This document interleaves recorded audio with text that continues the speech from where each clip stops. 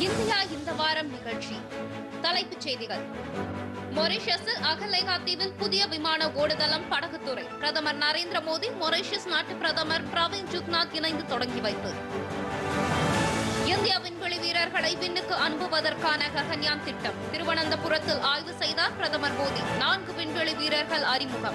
இரண்டாயிரத்து முப்பத்தைந்தில் விண்வெளியில் இந்தியாவின் சொந்த மயம். பிரதமர் தகவல்.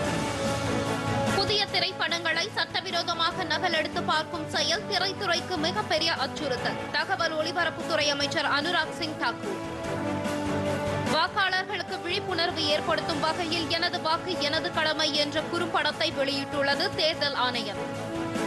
மாநிலங்களவை தேர்தல் முடிவுகள். உத்தரப்பிரதேசம் உள்ளிட்ட பத்து இடங்களில் பாஜக வெற்றி. காங்கிரசுக்கு மூன்று இடங்கள். பிரதமர் நரேந்திர மோடியின் ஆட்சியின் கீழ் இந்திய பொருளாதாரம் சீனாவுக்கு மாற்றாக திகழ்கிறது. சிஎன்என் ஊடகம் கருத்து. மத்திய பிரதேச மாநில சாலை விபத்தில் பதினான்கு பேர் உயிரிழப்பு. ஜார்க்கண்டில் எக்ஸ்பிரஸ் ரயில் மோதி பத்துக்கும் மேற்பட்டோர் பலி.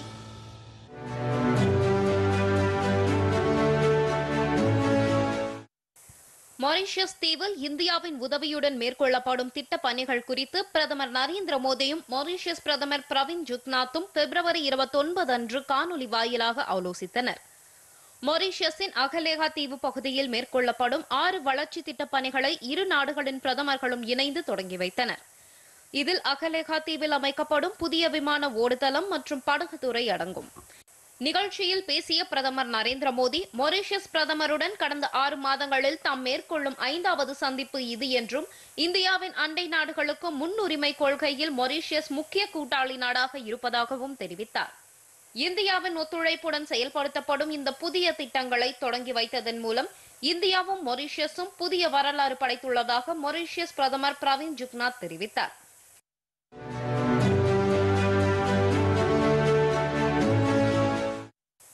இந்திய விண்வெளி ஆராய்ச்சி மையம் இந்திய விண்வெளி வீரர்களை விண்ணுக்கு அனுப்பி பத்திரமாக திரும்ப வரவழைப்பதற்கான ககன்யான் திட்டத்தை பிப்ரவரி இருபத்தேழு அன்று திருவனந்தபுரத்தில் பிரதமர் நரேந்திர மோடி ஆய்வு செய்தார். விக்ரம் சாராபாய் விண்வெளி ஆய்வு மையத்திற்கு சென்ற அவருக்கு ககன்யான் பயண திட்டத்திற்காக தேர்வு செய்யப்பட்டுள்ள நான்கு வீரர்கள் group captain Prashanth Kumar Nair group captain Ajit Krishnan group captain Angad Pratap wing commander Shubhanshu Shukla ஆகியோர் பிரதமரிடம் அறிமுகம் செய்து வைக்கப்பட்டனர். அவர்களை பிரதமர் கௌரவித்தார். இவ்வீரர்கள் இந்தியாவிலும் ரஷ்யாவிலும் பல கட்ட பயிற்சிகளை பெற்றிருந்தார்கள். பின்னர் இஸ்ரோ அறிவியலாளர்களிடையே உரையாற்றிய பிரதமர் ககன்யான் விண்வெளி வீரர்கள் நாட்டின் நூற்று நாற்பது கோடி மக்களையும் பிரதிநிதித்துவப்படுத்துவதாக குறிப்பிட்டார். சந்திரயான் மூன்று திட்டம் உட்பட பல்வேறு விண்வெளி திட்டங்களில் பெண் அறிவியலாளர்கள் அதிக அளவில் பங்கேற்று பெருமை அளிப்பதாக அவர் குறிப்பிட்டார். இரண்டாயிரத்து முப்பத்தி ஐந்தாம் ஆண்டுக்குள் இந்தியாவின் விண்வெளி மையம் விண்ணில் செயல்பட தொடங்கும் என்று அவர் கூறினார்.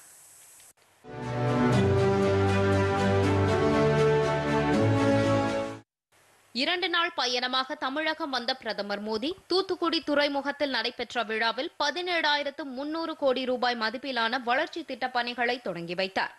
அங்கு நாட்டின் முதலாவது ஹைட்ரஜன் முனைய துறைமுகத்தையும் அவர் தொடங்கி வைத்தார். இந்த நிகழ்ச்சியில் மத்திய அமைச்சர் சர்பானந்த சோனோவால் மத்திய இணையமைச்சர் எல் முருகன் தமிழ்நாடு ஆளுநர் ஆர் என் ரவி தூத்துக்குடி நாடாளுமன்ற உறுப்பினர் கனிமொழி உள்ளிட்டோர் பங்கேற்றனர். முன்னதாக குலசேகரப்பட்டினத்தில் புதிய ராக்கெட் ஏவுதளத்திற்கு பிரதமர் நரேந்திர மோடி அடிக்கல் நாட்டினார். புதிய ராக்கெட் ஏவுதளத்திற்காக குலசேகரப்பட்டினம் அமலாபுரம் எள்ளுவிளை கூடல் நகர் அழகாபுரம் உள்ளிட்ட பல கிராமங்களில் இரண்டாயிரத்து இருநூற்று முப்பத்து மூன்று ஏக்கர் நிலம் கையகப்படுத்தும் பணிகள் கடந்த ஐந்து ஆண்டுகளாக நடைபெற்று வந்தன. இப்பகுதியில் இரண்டாயிரம் ஏக்கர் பரப்பளவில் விண்வெளி பூங்காவும் அமைக்கப்படுகிறது. இந்நிலையில் இந்த புதிய ராக்கெட் ஏவுதள மையத்திற்கு பிரதமர் நரேந்திர மோடி அடிக்கல் நாட்டினார். இதனை கொண்டாடும் வகையில் புதிய ஏவுதளத்தில் இருந்து ரோஹிணி ராக்கெட் விண்ணில் ஏவப்பட்டது.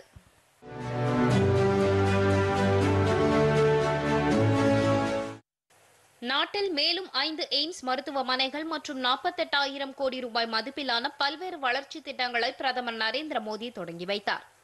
குஜராத் மாநிலத்தில் சுற்றுப்பயணம் மேற்கொண்டுள்ள அவர் ராஜ்கோட்டில் நடைபெற்ற எழில்மிகு நிகழ்ச்சியில் பத்திண்டா ரேபரேலி கல்யாணி மங்களகிரி ராஜ்கோட் ஆகிய ஐந்து இடங்களில் அமைக்கப்பட்டுள்ள புதிய எய்ம்ஸ் மருத்துவமனைகளை தொடங்கி வைத்தார். மேலும் நாற்பத்தெட்டாயிரம் கோடி ரூபாய் மதிப்பிலான பல்வேறு திட்டப் பணிகளையும் அவர் தொடங்கி வைத்தார். நிகழ்ச்சியில் பேசிய பிரதமர் நாட்டு மக்களுக்கு அதிக செலவு இல்லாமல் தரமான மருத்துவ சேவையை வழங்குவதே தமது அரசின் பிரதான நோக்கம் என்றார்.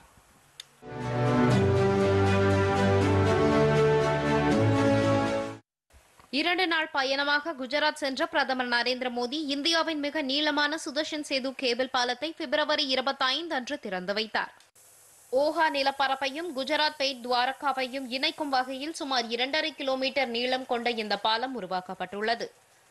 துவாரகேஷ் கோவிலுக்கு வரும் பக்தர்களின் வசதிக்காக தொள்ளாயிரத்து எழுபத்தெட்டு கோடி ரூபாய் செலவில் கட்டப்பட்டுள்ள இந்த பாலத்திற்கு கடந்த இரண்டாயிரத்து பதினேழாம் ஆண்டு அடிக்கல் நாட்டப்பட்டது.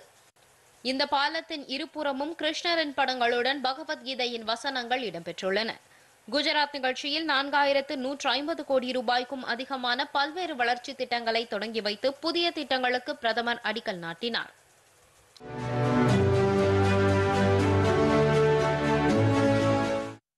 மத்திய பிரதேச மாநிலத்தில் பதினேழாயிரம் கோடி ரூபாய் மதிப்பிலான பல்வேறு வளர்ச்சி திட்டங்களை காணொலி மூலம் பிரதமர் தொடங்கி வைத்தார்.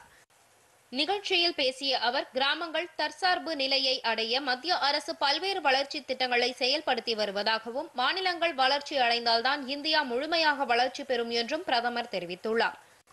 கடந்த பத்து ஆண்டு காலத்தில் இந்தியாவின் நம்பகத்தன்மை சர்வதேச அரங்கில் பன்மடங்கு உயர்ந்திருப்பதாகவும் இந்தியாவுடன் நட்பு பாராட்ட பல உலக நாடுகள் விரும்புவதாக பிரதமர் நரேந்திர மோடி தெரிவித்தார்.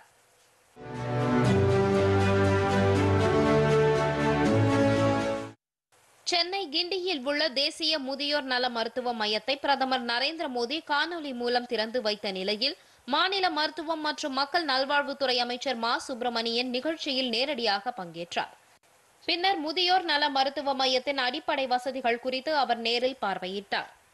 இந்த முதியோர் நல மருத்துவ மையத்தில் நிலை தடுமாறி விழுதல் எலும்பு தேய்மானம் உள்ளிட்டவற்றிற்கான சிகிச்சைகள் இருபத்தி நான்கு மணி நேரமும் வழங்கப்பட உள்ளன. முதியோர் இளைப்பாறுவதற்கு நூலகமும் இந்த மருத்துவ மையத்தில் இடம்பெற்றுள்ளது.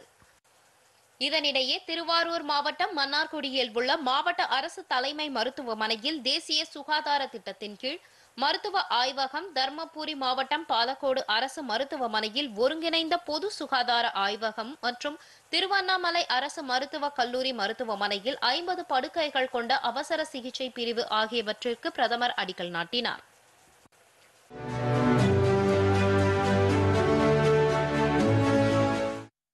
காரைக்கால் மாவட்டத்தில் நானூற்று ஐம்பது கோடி ரூபாய் மதிப்பில் கட்டப்பட்டுள்ள ஜிப்மர் மருத்துவமனை வளாகத்தை பிரதமர் காணொலி மூலம் நாட்டுக்கு அர்ப்பணித்தார்.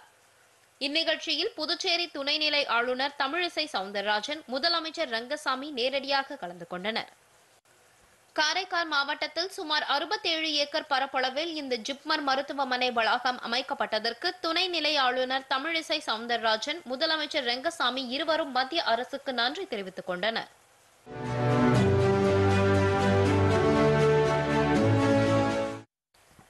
தமிழ்நாட்டில் முப்பத்து நான்கு ரயில் நிலையங்கள் உட்பட நாடு முழுவதும் ஐநூற்று ஐம்பத்து மூன்று ரயில் நிலையங்களை உலக தரத்திற்கு மேம்படுத்துவதற்கான பணிகளுக்கு பிரதமர் நரேந்திர மோடி அடிக்கல் நாட்டினார். நாட்டில் உள்ள முக்கிய நகரங்களில் ரயில் நிலையங்களின் எதிர்கால வளர்ச்சியை கருத்தில் கொண்டு அம்ரித் பாரத் திட்டத்தின் கீழ் ரயில் நிலையங்களை நவீனமயமாக்கும் திட்டத்தை மத்திய அரசு செயல்படுத்தி வருகிறது. இந்த திட்டத்தின் கீழ் தமிழகத்தில் சென்னை கடற்கரை பூங்கா அம்பத்தூர் பரங்கிமலை கிண்டி மாம்பாலம் மேட்டுப்பாளையம் கோவை வடக்கு ஈரோடு மொரப்பூர் திண்டுக்கல் தூத்துக்குடி திருச்செந்தூர் மயிலாடுதுறை கும்பகோணம் விருதாச்சலம் தர்மபுரி ஓசூர் உள்ளிட்ட முப்பத்து நான்கு ரயில் நிலையங்கள் மேம்படுத்தப்பட உள்ளன. புதுதில்லியில் இருந்து இந்த திட்டங்களை காணொலி மூலம் தொடங்கி வைத்து பேசிய பிரதமர் நரேந்திர மோடி அம்ரித் பாரத் திட்டத்தினால் நாட்டின் பொருளாதாரம் வளர்ச்சியடையும் என்று தெரிவித்தார்.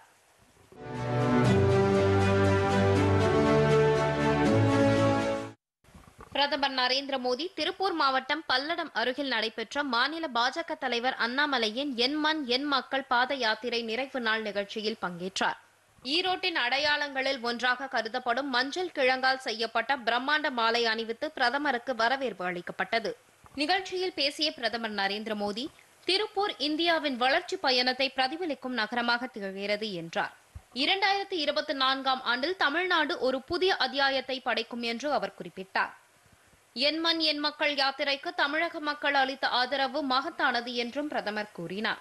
தமிழ்நாட்டின் வரலாற்று சிறப்புமிக்க பாரம்பரியத்தின் பெருமையை பறைசாற்றும் விதத்தில் தமிழ்நாட்டின் செங்கோலை தம் நாடாளுமன்றத்தில் வைத்ததாகவும் தமிழ் கவிதைகளை உலக அரங்குகளில் மேற்கோள் காட்டியதாகவும் பிரதமர் குறிப்பிட்டார்.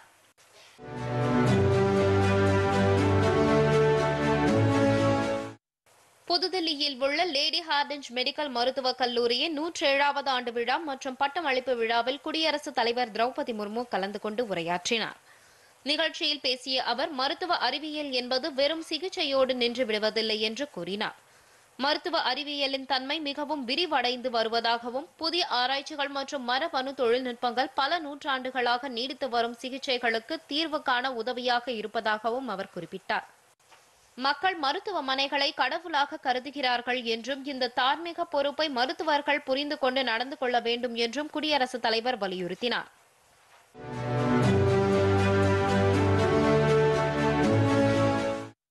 புதுதில்லியில் பிப்ரவரி இருபத்தொன்பது அன்று பிரதமர் நரேந்திர மோடி தலைமையில் மத்திய அமைச்சரவை கூட்டம் நடைபெற்றது. இந்த கூட்டத்தில் எடுக்கப்பட்ட முடிவுகள் குறித்து மத்திய அமைச்சர்கள் அனுராக் சிங் தாக்கூர் அஸ்வினி வைஷ்ணவ் ஆகியோர் செய்தியாளர்களிடம் விளக்கினார்கள். இதன்படி நாடு முழுவதும் எழுபத்தைந்தாயிரத்து இருபத்தோரு கோடி ரூபாய் செலவில் ஒரு கோடி வீடுகளில் சூரிய மின்தகடு அமைக்கும் திட்டத்திற்கு மத்திய அமைச்சரவை ஒப்புதல் அளித்துள்ளதாக தகவல் ஒலிபரப்புத்துறை அமைச்சர் அனுராக் சிங் தாக்கூர் தெரிவித்தார். கடந்த பிப்ரவரி மாதம் பதிமூன்றாம் தேதி பிரதமர் நரேந்திர மோடியால் தொடங்கி வைக்கப்பட்ட இந்த திட்டத்தின் மூலம் நாடு முழுவதும் ஒரு கோடி வீடுகள் முன்னூறு யூனிட் மின்சாரத்தை இலவசமாக பெறும் என்று அவர் குறிப்பிட்டார். மேலும் இந்த திட்டத்தின் மூலம் பயனாளிகள் பதினைந்தாயிரம் ரூபாய் வரை வருவாய் ஈட்ட முடியும் என்று அனுராக் சிங் தாக்கூர் கூறினார்.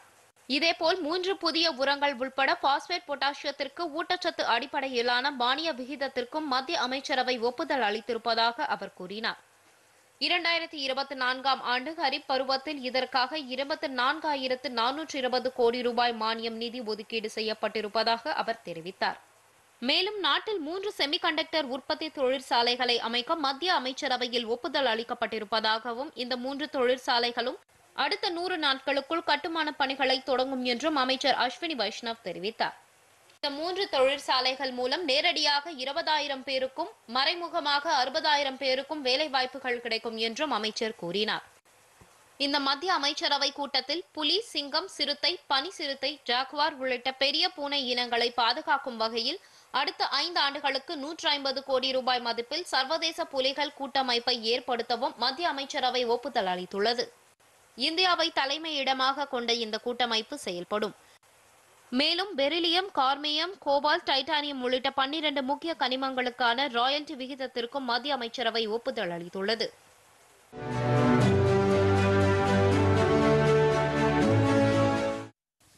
உத்தரப்பிரதேச மாநிலத்தில் இருந்து மாநிலங்களவை பாஜக சார்பில் எட்டு பேர் தேர்வு செய்யப்பட்டுள்ளனர். மாநிலங்களவையில் காலியாக உள்ள இடங்களுக்கான தேர்தல் உத்தரப்பிரதேசம் கர்நாடகா மற்றும் இமாச்சல பிரதேச மாநிலங்களில் பிப்ரவரி இருபத்தி ஏழு அன்று நடைபெற்றது. உத்தரப்பிரதேசத்தில் பத்து இடங்களுக்கு நடைபெற்ற தேர்தலில் பாஜக சார்பில் நிறுத்தப்பட்ட எட்டு பேர் வெற்றி பெற்றனர். சமாஜ்வாதி கட்சியின் இரண்டு வேட்பாளர்கள் வெற்றி பெற்றனர். இது தவிர இமாச்சல பிரதேசம் கர்நாடக மாநிலங்களில் தலா ஒரு பாஜக வேட்பாளரும் வெற்றி பெற்றுள்ளனர். காங்கிரஸ் கட்சியை பொறுத்தவரை கர்நாடகாவில் அக்கட்சியின் மூன்று வேட்பாளர்கள் வெற்றி பெற்றுள்ளனர்.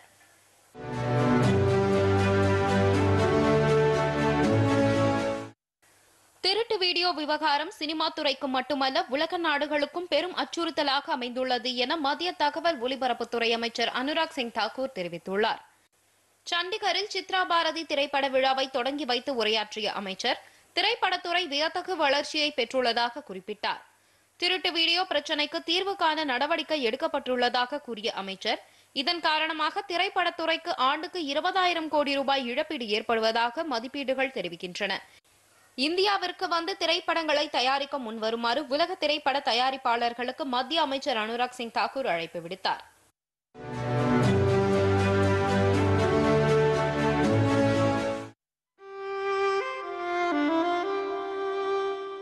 सबसे ज़रूरी काम मतदान। देश को सपोर्ट करते हैं इसीलिए वोट करते हैं। बड़ी ज़ोर शोर से तैयारियाँ चल रही हैं। आपके स्वागत के लिए। इलेक्शन का दिन मतलब छुट्टी नहीं ड्यूटी का दिन। सोशल मीडिया मौज मस्ती सब बाद में। पहले ड्यूटी वोटिंग की। वोटर लिस्ट में नाम चेक कीजिए। वोटर सर्विस पोर्टल पे लॉगिन कीजिए। कौन सी डेट कौन सा बूथ? सब चेक करेंगे। वोट करेंगे। तो जाइए अपनी ड्यूटी निभाइए। ये सिर्फ निशान नहीं शान है लोकतंत्र में हमारा भी योगदान है मेरा वोट मेरी ड्यूटी मेरा वोट मेरी ड्यूटी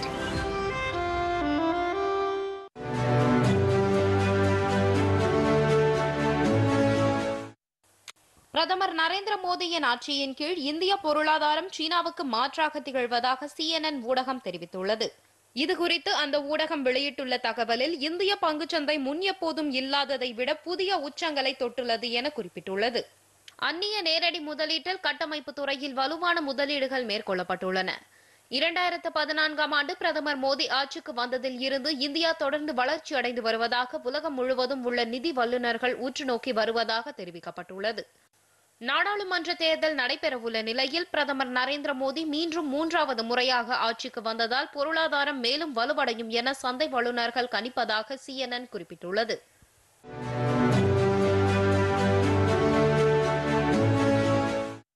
நாட்டின் வறுமை ஐந்து சதவீதமாக குறைந்துள்ளது என்று நித்தி ஆயோக் அமைப்பின் தலைமை செயல் அதிகாரி சுப்பிரமணியம் தெரிவித்துள்ளார். புதுதில்லியில் செய்தியாளர்களிடம் பேசிய அவர் கிராமப்புறம் மற்றும் நகர்ப்புறங்களில் மக்கள் செழிப்பாக மாறி வருவதாக கூறினார். மக்களின் நுகர்வு குறித்த தரவுகளை கொண்டு நாட்டில் வறுமையின் நிலையை மதிப்பிட முடியும் என்றும் வறுமை ஒழிப்பு நடவடிக்கைகளின் வெற்றியை அறிய முடியும் என்றும் அவர் குறிப்பிட்டார்.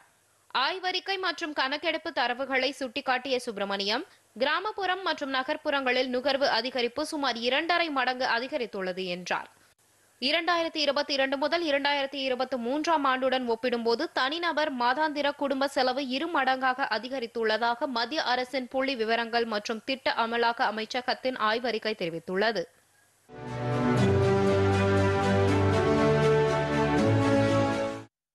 பழம்பெரும் கசல் பாடகர் பங்கஜ் உதாஸ் உடல் நலக்குறைவு காரணமாக காலமானார். அவருக்கு வயது எழுபத்தி இரண்டு கடந்த சில மாதங்களாக உடல் குறைவால் மருத்துவமனையில் சிகிச்சை பெற்று வந்த அவர் சிகிச்சை பலனின்றி உயிரிழந்தார்.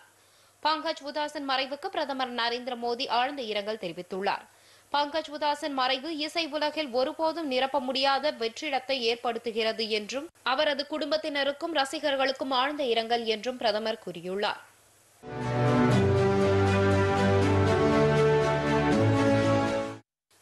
பாலஸ்தீன பிரச்சினைக்கு சமூக தீர்வு காண முன்வர வேண்டும் என்று வெளியுறவுத்துறை அமைச்சர் ஜெய்சங்கர் வலியுறுத்தியுள்ளார். ஐநா மனித உரிமைகள் பேரவையின் ஐம்பத்தைந்தாவது அமர்வில் உரையாற்றிய அமைச்சர் இஸ்ரேல் பாலஸ்தீனம் இடையே நீடித்து வரும் சிக்கலை சுட்டிக்காட்டினார். பயங்கரவாத நடவடிக்கைகளை ஒருபோதும் ஆதரிக்க முடியாது என்று திட்டவட்டமாக தெரிவித்த அமைச்சர் ஜெய்சங்கர் இஸ்ரேல் பாலஸ்தீனம் இடையேயான பிரச்சினைக்கு தீர்வு காண முன்வர வேண்டும் என்று கேட்டுக்கொண்டார்.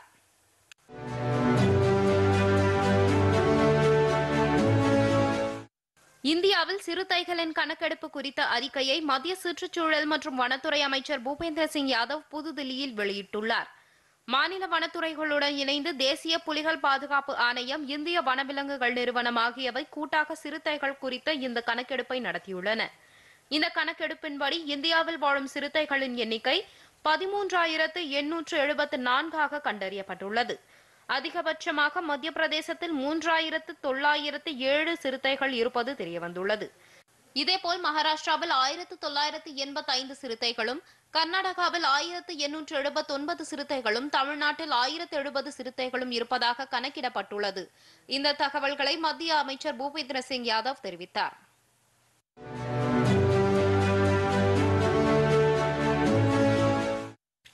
நூறு லட்சம் டன் நெல்லை கொள்முதல் செய்வது என மத்திய அரசு இலக்கு நிர்ணயித்திருக்கிறது.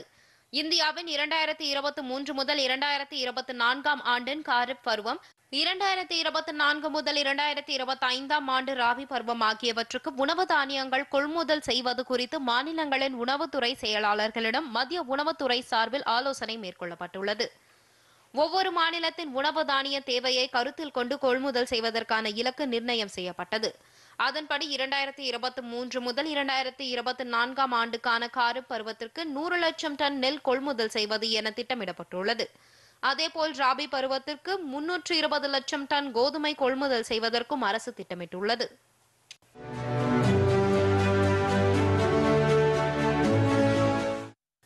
ஜார்க்கண்ட் மாநிலம் ஜம்தாராவில் உள்ள கலாச்சாரியா ரயில் நிலையம் அருகே தண்டவாளத்தை கடக்க முயன்றவர்கள் மீது எக்ஸ்பிரஸ் ரயில் மோதியதில் பன்னிரண்டு பேர் உயிரிழந்தனர். அசான்சால் மற்றும் ஜாஜா என்ற இடங்களுக்கு மத்தியில் ரயில் வேகமாக வந்து கொண்டிருந்த போது சிலர் தண்டவாளத்தை கடக்க முயன்றபோது அவர்கள் மீது ரயில் மோதியதாக கூறப்படுகிறது. சம்பவ இடத்திற்கு விரைந்த ரயில்வே பாதுகாப்பு படை வட்டாரங்கள் இந்த விபத்தில் பலியானவர்களின் எண்ணிக்கை அதிகரிக்க வாய்ப்பிருப்பதாக தெரிவித்ததாக தகவல்கள் தெரிவிக்கின்றன.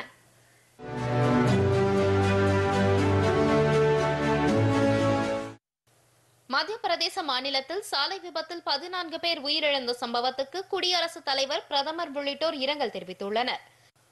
இதுகுறித்து குடியரசு துணைத் தலைவர் ஜக்தீப் தன்கர் வெளியிட்டுள்ள எக்ஸ் பதிவில் மத்திய பிரதேச மாநிலத்தில் உயிரிழந்தவர்கள் குடும்பத்தினருக்கு இரங்கல் தெரிவித்துக் கொள்வதாகவும் காயமடைந்தவர்கள் விரைவில் குணமடைய பிரார்த்திப்பதாகவும் கூறியுள்ளார்.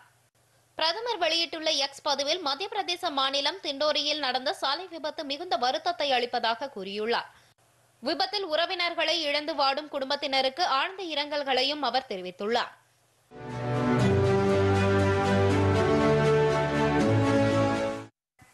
தூத்துக்குடி ஸ்டெர்லைட் ஆலையை திறக்க அனுமதிக்க முடியாது என்று சென்னை உயர்நீதிமன்றம் அளித்த தீர்ப்புக்கு எதிராக உச்சநீதிமன்றத்தில் தொடரப்பட்ட வழக்கில் தீர்ப்பு வழங்கப்பட்டது. இந்த வழக்கை விசாரித்த உச்சநீதிமன்றத்தின் முதன்மை அமர்வு சுற்றுச்சூழலை பாதுகாப்பது மாநில அரசின் முக்கிய பணிகளில் ஒன்று என்றும் ஸ்டெர்லைட் ஆலை தொடர்ந்து மாசு ஏற்படுத்தி வந்துள்ளதால் உயர்நீதிமன்றம் அளித்த தீர்ப்பில் தலையிட விரும்பவில்லை என்று தீர்ப்பு அளித்தனர். இதனிடையே உச்சநீதிமன்றத்தின் இந்த தீர்ப்பு வரலாற்று சிறப்புமிக்கது என்று முதலமைச்சர் மு ஸ்டாலின் தெரிவித்துள்ளார். இது தொடர்பாக சமூக வலைதளத்தில் பதிவிட்டுள்ள அவர் சுற்றுச்சூழலுக்கு எதிரான ஸ்டெர்லைட் ஆலைக்கு எதிராக தமிழகம் முன்வைத்த வலுவான வாதங்களால் உச்சநீதிமன்றம் இந்த வரலாற்று சிறப்புமிக்க தீர்ப்பை வழங்கியுள்ளதாக கூறியுள்ளார்.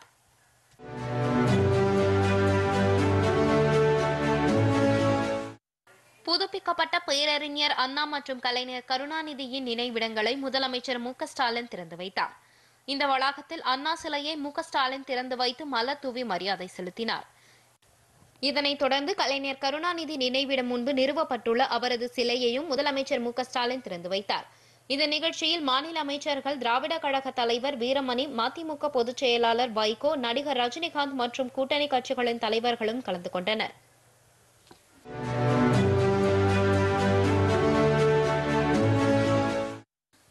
தமிழ்நாட்டில் பிளஸ் டூ மாணவ மாணவியருக்கான பொதுத் தேர்வு தொடங்கியது. நேற்று மார்ச் ஒன்றன்று தமிழ் பாடத்தேர்வு நடைபெற்ற நிலையில் வரும் ஐந்தாம் தேதி ஆங்கில பாடத்தேர்வு நடைபெறுகிறது. பிளஸ் டூ தேர்வுகளை தமிழ்நாடு மற்றும் புதுச்சேரியைச் சேர்ந்த சுமார் ஏழு லட்சத்து எழுபத்தி இரண்டாயிரம் பேர் எழுதுகின்றனர். ஏழாயிரத்து ஐநூற்று முப்பத்து நான்கு பள்ளிகளைச் சேர்ந்த மாணவ மாணவியர் தேர்வில் கலந்து கொள்கின்றனர். மூன்றாயிரத்து முன்னூற்று இரண்டு தேர்வு மையங்களில் தேர்வு நடைபெறுகிறது.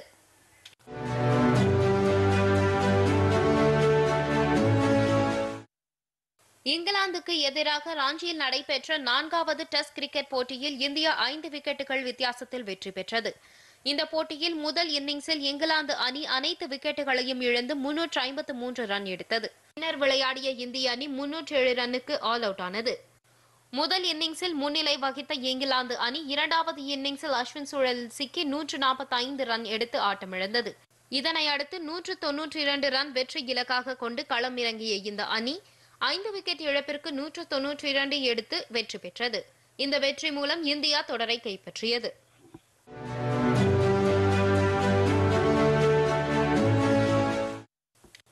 கேலோ இந்தியா குளிர்கால விளையாட்டுப் போட்டியில் இந்திய ராணுவம் பத்து தங்கம் ஐந்து வெள்ளி ஐந்து வெண்கலம் வென்றுள்ளது.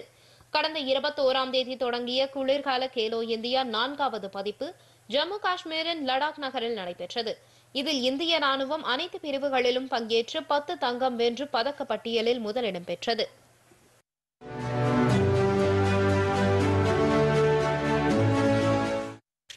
சர்வதேச ப்ரோ லீக் ஆடவர் ஹாக்கி போட்டியில் நான்கு பூஜ்ஜியம் என்ற கோல் கணக்கில் அயர்லாந்து அணியை வீழ்த்தி இந்தியா வெற்றி பெற்றது. ஒடிசா மாநிலத்தில் உள்ள பிர்சா முண்டா ஹாக்கி மைதானத்தில் நடைபெற்ற இந்த ஆட்டத்தில் முதல் பாதி ஆட்டத்தில் இந்தியா தரப்பில் நீலகண்ட சர்மா ஆகாஷ் தீப் சிங் குஜ்ரந்த் சிங் ஜுக்ராஜ் சிங் ஆகியோர் தலா ஒரு கோல் அடித்தனர். பின்னர் இரண்டாவது பகுதி ஆட்டத்தில் இந்திய வீரர் குஜ்ராந்த் சிங் இரண்டு கோல்களை அடித்து அசத்தினார். இதனால் ஆட்ட நேர முடிவில் இந்தியா நான்கு பூஜ்ஜியம் என்ற கோல் கணக்கில் வெற்றி பெற்றது.